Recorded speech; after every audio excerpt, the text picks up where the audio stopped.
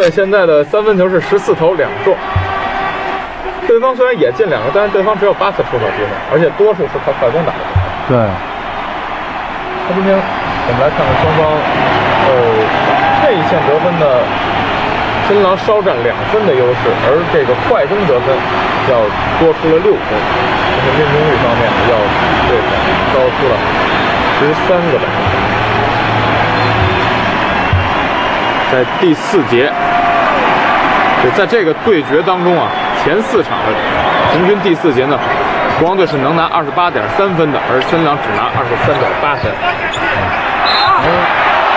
那就指着你的第四节。对，这地方吃犯规。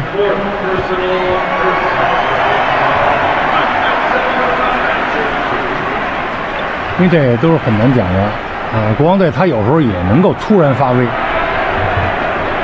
一下子就就就就打起来。是，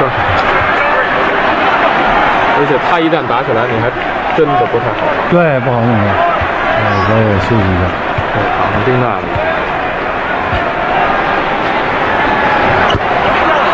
打不进，那就行，打不进。他一个人有其过人之长，必有其过人之短。嗯。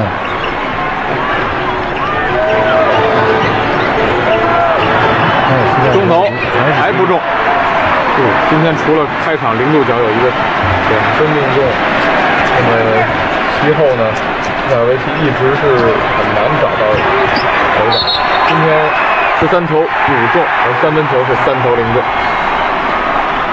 桑盖拉又犯规。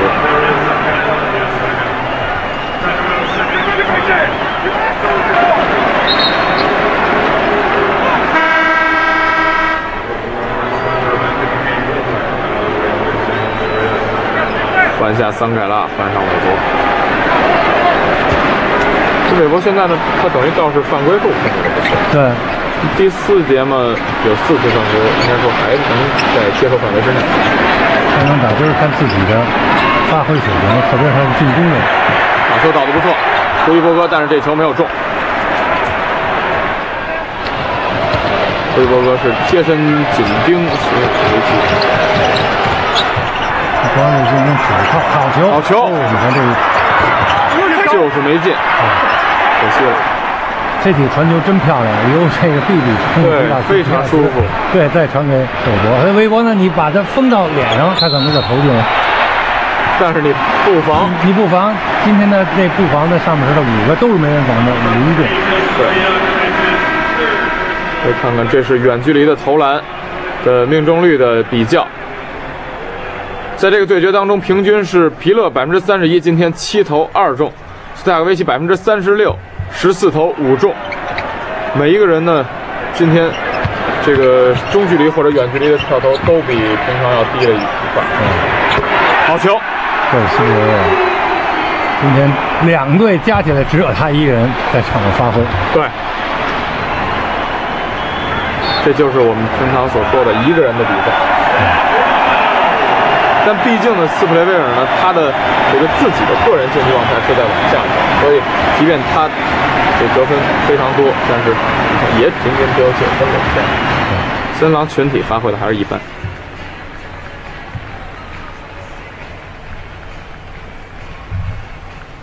六十六比五十七，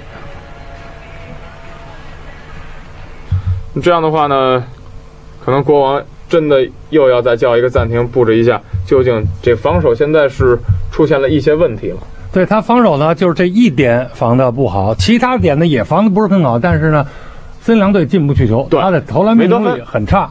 但是反过来呢，自己也得不了分。现在整个的国王队的进攻呢，完全就是靠 B B 这个挡拆。对，上来给 B B 挡一下，B B 运一下，运一下有了机会自己投，没呃内线如果出了机会，对方一换人，这这有了错误，啪，这球传过去。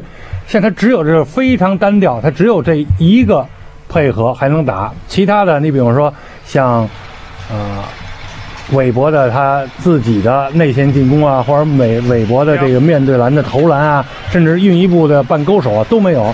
另外一点呢，他的呃，进攻得分点的斯特贾科维奇呢，今天是也是哑火，所以呢，国王队以攻为主球队，他的几个点都哑了，只有进攻只有这一个点了，而且是一这一点还指不定成不成，嗯，对，太单调了打的，所以今天他打很被动。国王呢，好在他等于是在客场作战，后面主场还有机会，还有还有一个主场，但是他少一个主场啊。对。国王的其实呢，他的形势非常好，第一场就在客场赢了，第二场还有几分钟的时候赢十几分，对，最后让对对方捞回来。你如果是在客场打一个二比零，那完全不一样了。对，士气极足啊，而且就等于有可能成全森林狼，就是说不进第二轮是不进，一进就是大家进这决赛。所以这样，也就是国王连续两年把这个可能他击败的对手呢，是送进后面的比赛。去年是小牛，所以这个有很多的媒体也在说，说是你把小牛这样一支球队，这样一支顶多只能打季后赛第一轮、第二轮的球队送到西部决赛当中，这简直是在这个侮辱西部整个的所有的球队。所以说呢，现在国王好像其实他并不愿意承受这种压力和责任，但是由于他在前面可能前面几个赛季真的是打得太好，让我们太是记忆犹新，所以呢，大家不得不对他有期望。二十九分，十六投十一中，命中率相当之高，六次助攻，同时应该是有四到五个篮板左右。呃，今天斯布雷尔确实是超水平的发挥。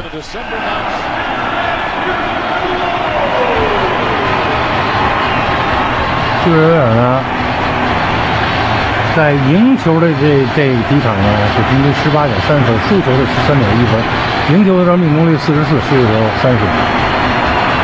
所以呢，就是说他的发挥和整个球队的胜负有很大的关系。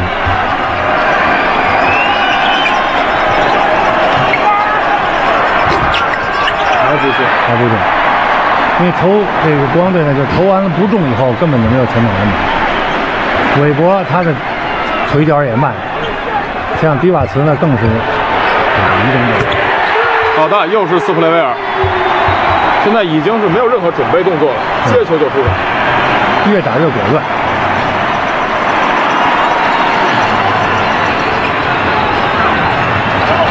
韦伯单打，迪勒出手，哎，这个三分球来的有点及时了，终于进一球。但是看是不是就这是昙花一现，还是说是一个序幕？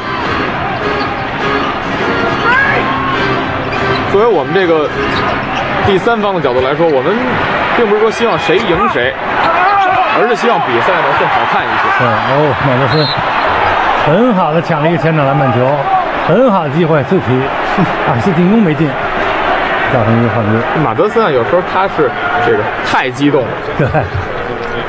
冷静不下来，说他罚球为什么有时候这第一个总是罚不进呢？就是说他在前面抢的这个前场篮板，兴奋，这兴奋，这就好那个摩托呜这个发动机 一下停不下来，那球，所以他往往第一个罚球总是，伊瓦茨啊，不是三改了，三改了，三改了，造成犯规吗？走步，走步违例了。其实这也好机会。对，三分球方面，赛季是百分之四十，第一轮是百分之三十七，半决赛已经降到百分之二十七了。这就是国王赖以自豪的三分球外线进攻。嗯。加内特，背转身，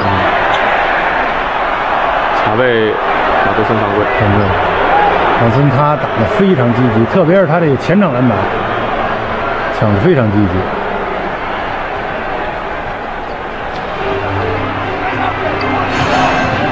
呃，第五个，美国在二打二，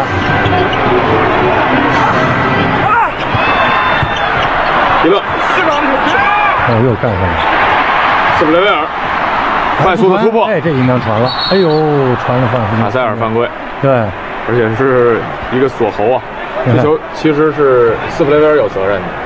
对传的有点晚。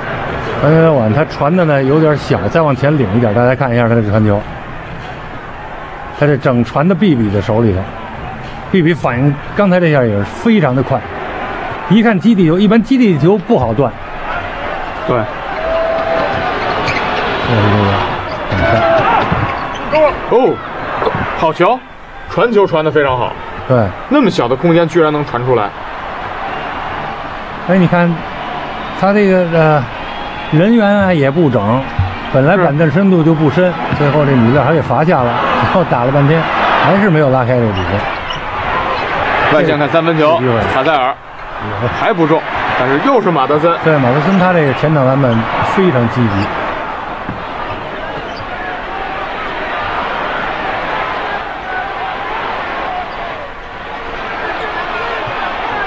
加内特这边很多嗯，对了，桑盖拉。有时候桑，可能桑盖拉也只有这么做了。从能力上来说，确实要对差一些。但是这样呢，他消耗加内特很多的体力。对就是加内特，你想接一个球没有那么容易，那接着球呢，可能有的时候很喘啊，最后你在真正攻的时候呢，力量又不足了。这种感觉加内特不陌生。去年第一轮让马德森，折腾的就很厉害了。好的，有机会，机会。又是马德森，你看马德森抢了多少前场篮板？国王要暴怒了，太伤士气了。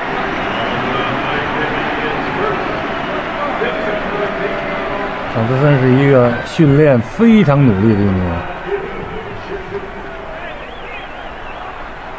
所以为什么给他起一个外号叫做“疯狗”？而且不是说湖人队给他起的，大学时候就有这个外号。我们第一罚，哎，哦进了，进了，真不容易不。错，看到麦克海尔了。今天现在还没笑出来。对，如果今天这场比赛能赢的话，那么麦克海尔真是可以长舒一口气。两罚两中，不容易。说明他自己也在调整自己。对，那就要看你国王现在怎么调整了。你现在比较被动了。好球，这时候森林狼防守出问题了。对，刚才毕比呢，这个突然间的这个变速变向进去以后，而且是非常恰到好处的，这个有人一补，这个球就传出去了。他这个时机，我们讲说 timing timing 确实掌握得非常好。三分防守，三分球又中，这是胡伊伯格。这个三分球是很长森林狼士气，同时让国王队比比还是往篮下走。韦伯高位跳投还是不中，马德森后场篮板又拿一个。马德森的篮板球确实是。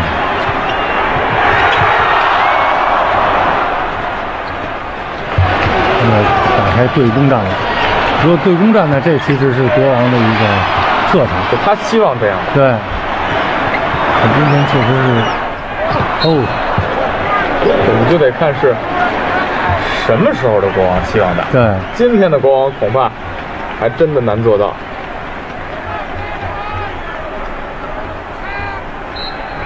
马德森现在和他上场只有十四分钟，但现在已经抢了九个篮板，而且有七分。两个马鲁夫兄弟，这是国王队的老板，今天是连连摇头。那么现在呢，国王队呢，他的工资限额是要高出这个奢侈税要，他要交很高的奢侈税，高出了工资帽一大块。所以，如果说国王队在这个赛季再度失意的话，那恐怕两个马鲁夫就要采取一定的这个措施了，比如说要把一些这个我们觉得可能是重磅级的球员就要交换出去，这都是应该说是在我们的这个想法的范围之内的。尤其是现在韦伯的状态不好，而迪瓦茨呢现在状态又是随着年龄的增大下滑，那么这两个人是不是会被交易出去？我们现在当然不敢断言，但是。两个马鲁夫昨天在接受明尼苏达的记者采访的时候，他说了，他们俩都说了一句话，他说就是我们队没有非卖品，我们队换谁出去都有可能。看来确实对球队现在的状态是不很满意的。对，因为呢，NBA 呢，实际上它是一个 business，就是说一个商业整个是一个商业的啊、东西。它比赛都是围绕这个商业，围绕着怎么样能赚钱，因为这是也可以理解的。所以呢，你作为球队老板来讲呢，他也是我，或者你比如说我赚钱了，那是最好；我赔钱了，我是如果得了冠军了，这也还能说得过去。如果又赔钱，战绩又不好，那他就是一定要采取大动作去做。所以呢，下一个赛季啊、这国王队会成为什么样，谁也不知道。包括湖人，对，下一个赛季谁也不知道湖人会是成为什么样。湖人现在有八个自由人，自由人包括教练也是合同也到期，所以呢，为什么湖人也说呢？说我们就是 now，就是现在，现在要打，别想这个以后以后以后不知道怎么样，因为 NBA 它的变动也是非常大的。你比如说，这个赛季的湖人跟上个赛季就完全不一样。对，这个赛季马刺和上个赛季马刺也也完全不一样。你包括这个呃国王队，国王队在上一个赛季是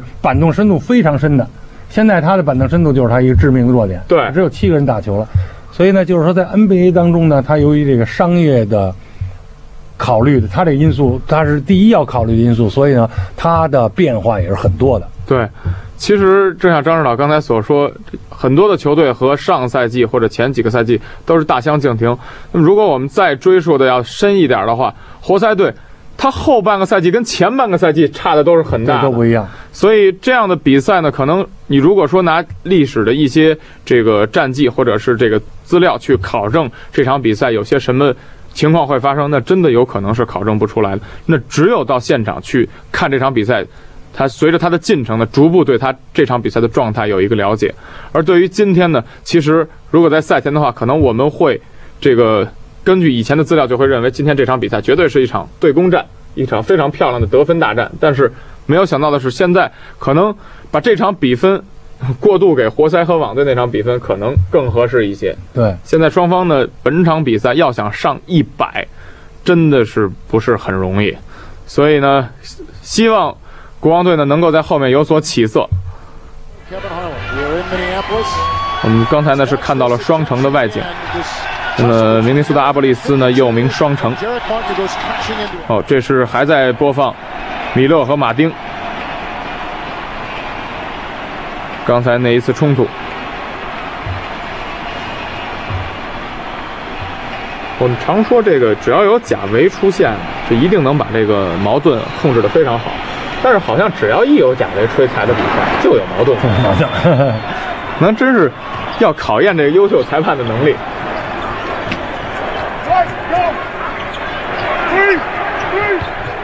看加内特跳步，转移球非常快，但没进。其实要说现在分数差的也不算多，不是很多，但是国王呢，今天两个队的命中率不高呢，并不是说对方防守防的多好，而是好多都是自己好球，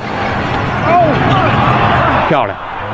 这一次真不容易，韦伯迎着加内特硬打呀。对，走着进去的。对，因为他没有以前的爆发力，是以前的力量，以前的爆发力都不存在。第三节千元中奖的观众呢是来自江西新余的邹华幺三五零七九零六二，恭喜这第三位朋友。马德森十个篮板了，又一个篮板，对，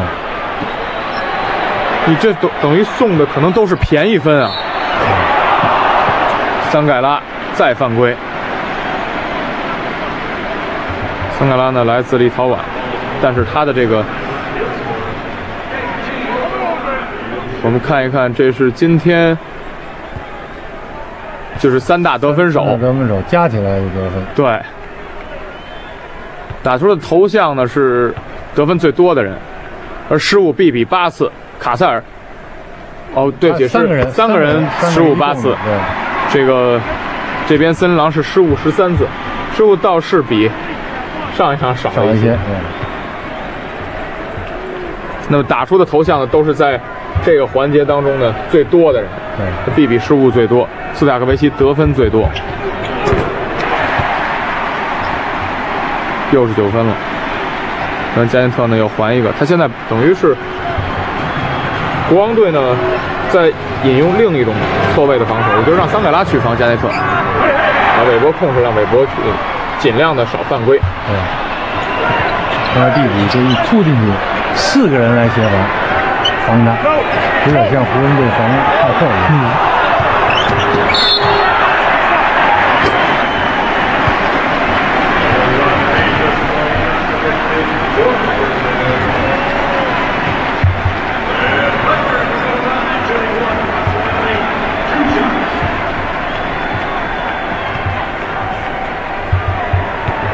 七十五比六十六，现在胡伊博格发球。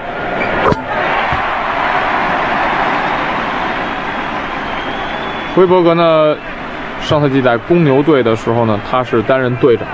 尽管说很多球迷都在说，说这个人他的能力也不突出，也没有任何一项强项，说怎么会当队长？当时的这个主教练卡特莱特呢，就说这个让胡伊伯格当队长，是因为他的经验非常丰富。不要看他这个技术统计很糟糕。啊，罚球，国王队要十分投十分吧？对。B B B B 在外线投篮的话，他身高真的是很吃亏。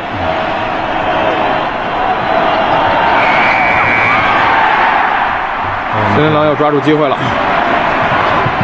回传，好球。这个暂停，因为他确实是。进攻当中没有任何办法。今天比赛应该是最大的分差了，十三分。前森林狼曾经领先过十二分，现在呢，我们看这就是胡伊伯格的作用。他的作用可能真的是体现在那些技术统计所体现不出来的地方。四分十五秒。那么，比赛到了这个关头，如果国王再要猛醒的话，也只能从三分上去想办法。对，他就一个是加快这个进攻的节奏，一个是开外边开始投三分。因为呢，现在打来打去，打来打去，球都在 B 比手里头打这个挡拆。所以大家看，在刚才这一段的时间里呢，森林狼的防守呢，就是对 B 比的这个就是敏感性特别大。B 比只要运球一往里突，所有人都收回来。而 B 比呢，他的传球大部分呢都是内传内，他突进去以后呢，他是往内线给球，而不是往远侧的这个三分线等着的这个队员那那边给球。所以他打来打去呢，最后打在篮下或者打得太挤，所以呢，他真正想投三分球呢，也没有机会去投。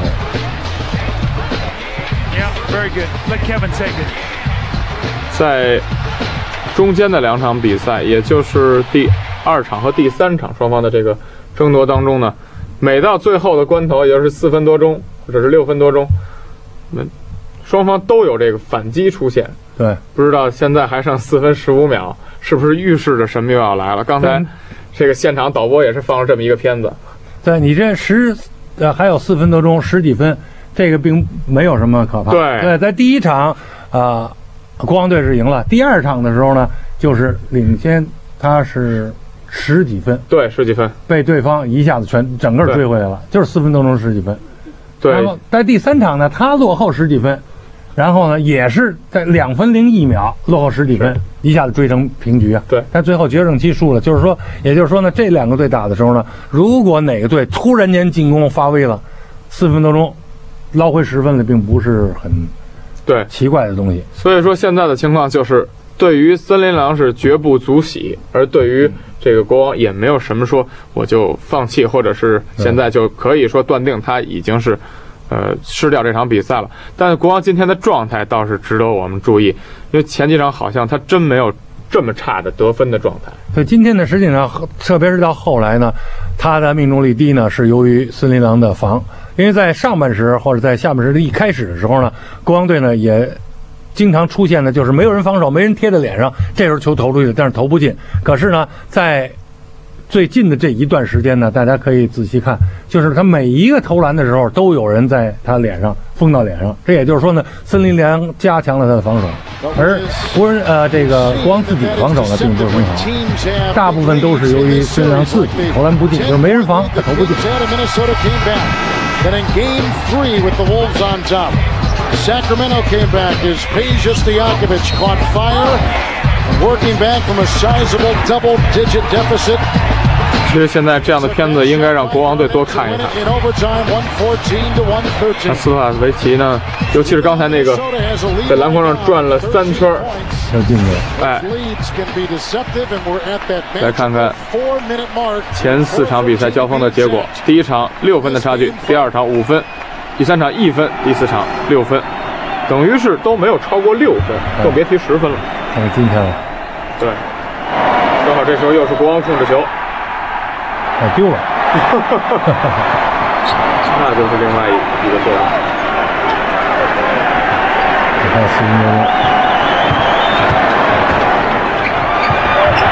好球，十五分，十五分是一个坎了。对，从底线突破那边根本没有人防守，这国王队的防守确实是太差了。现在十一比二，三分多钟一十一比二的小高潮。球员的防守，防球，哎，放了一个三分，好球！放了美国一个三分，美国终于投中了一个远投。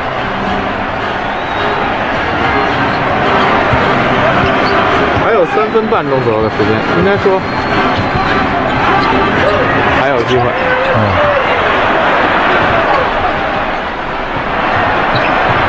美国这边又空了，再接着投，没有哦，迪瓦茨来了，迪瓦茨已经完全，他跳起来也没有爆发力，就是往上赖了。你防守其实一躲闪他，这个球不一定扔到哪去了。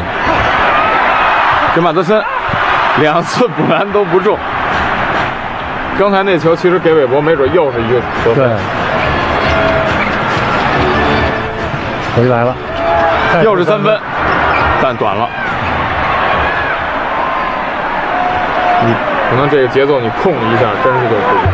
对，而且刚才其实把这球传给韦伯的话，没有人盯防，对而且离他最近的防守队员呢也不一定跟得上。哎呦，马德森还不中，不进再自投自抢。马德森十几个篮板了，是没问题了。看马德森十一个篮板球，加上这个应该是十二个，对，虽然是四次个人犯规。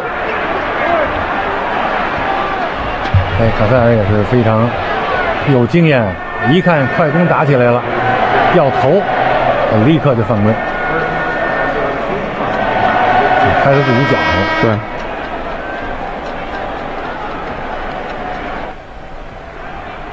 还有两分钟左右的时间，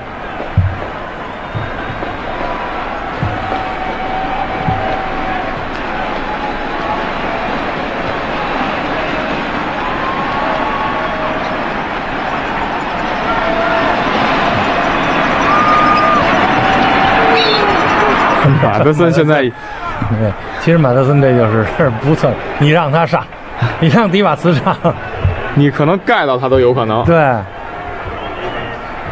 或者那边只要有一个人协防过来，你都不用盖，这球不进对扔哪去了。而且协防过来补防的是加内特，对嗯可能马德森也就是习惯这样，对，五次犯规了。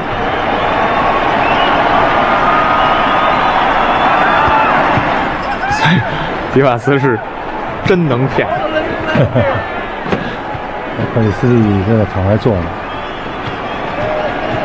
所以说这个加内特利用身高弹跳臂展欺负迪瓦茨是他的办法，迪瓦茨也有欺负别人的办法。两罚两中，这样又回到了十分的差距。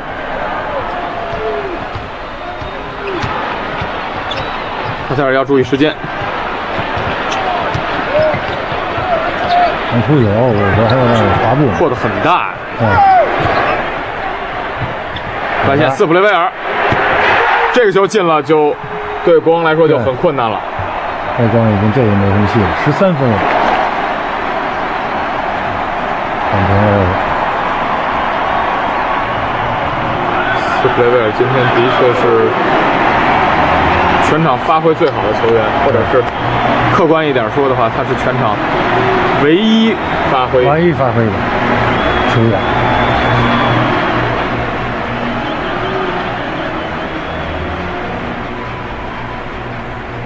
按照我们说，如果按照以前的情况来说，三分球，无论这个斯普雷威尔在这个金州勇士队，还是说在纽约尼克斯队，三分球都不是他的强项。突破中距离投篮或者跑投是他的强项。对但是今天能发挥这么好的话，那确实国王队今天再加上自己的状态不行，那么应该说在这个球之后呢，恐怕有一些问题，而且今天再扳回比分是比较困难了。对，如果今天这场输了以后，也就是星期日，也就是北京时间的星期一，啊、他们会进行第六场的比赛。这啊、这一场的比赛呢，又回到国王队了。这个今天国王队输成这样呢，对他实际上自己呢是一个很被动的情况。因为我们再给他回顾一下整个这一轮的比赛，第一场他在客场取胜，他把有了这个主场优势了。第二场又是大比分的领先，最后让人家捞回去了。第三场呢，我再来看看一看看进攻，赛季是一百零二点八分，今天晚上七十一分，赛季命中率四十六，今天三十三，三分球命中率赛季是百分之四十，今天百分之二十四。这无论如何不像一支进攻优秀的队伍。对，今天呢，我觉得呃，国王队他的进攻之所以打成这样呢，在一开始呢是由于他自己发挥不好，在后来呢，确实森林狼的防守呢，呃。加强，而且森林狼的防守加强，森林狼防守的奏效呢，是由于国王队的他进攻太简单，他的方法太简单，对他只有一个 B B 在这儿运球、挡拆、运球突破，所以呢，你只有这么一招，啊、森林狼呢很快发现这个了，然后他就堵住这一点，这样给这个啊、整个国王队的进攻呢造成很大的被动，就是攻攻不了了。所以呢，还有一分多钟的时间呢，他能不能有所改观呢？你看还是这么样打节奏，哎好球这是进球了，对，已经开始换上替补了。对。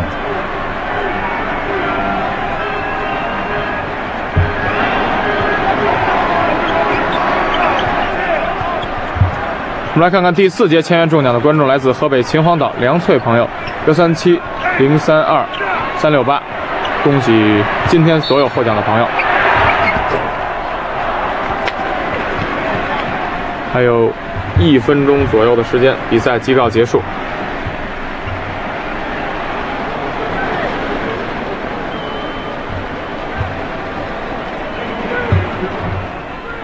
新郎今天呢，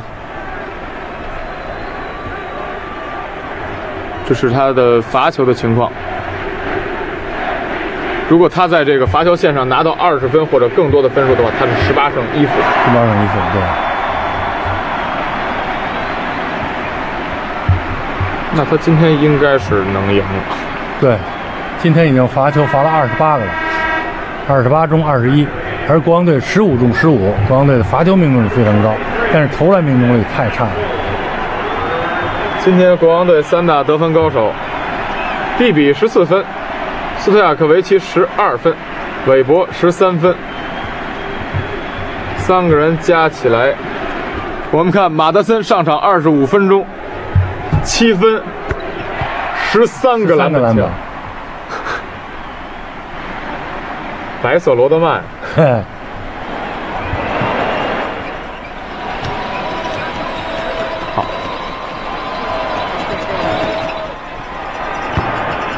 不中。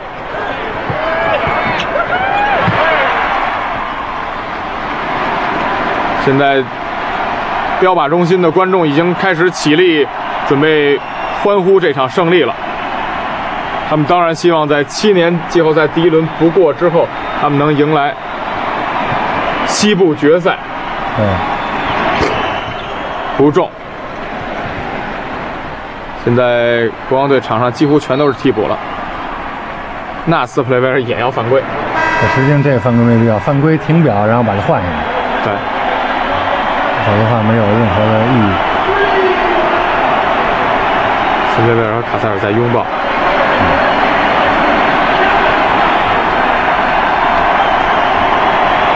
确实是值值得阿德尔曼教练好好琢磨一下，嗯，回主场你怎么打？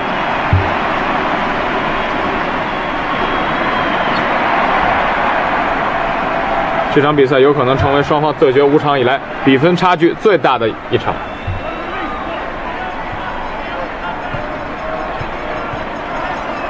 而国王队的确是从这场比赛来看，他不再是那些国王迷们所熟悉的那支国王队。嗯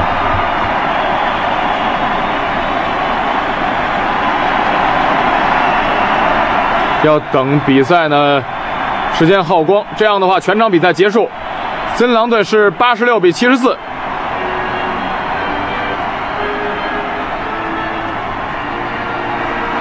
战胜了国王队。好，这样的话呢，我们的转播就到这里结束。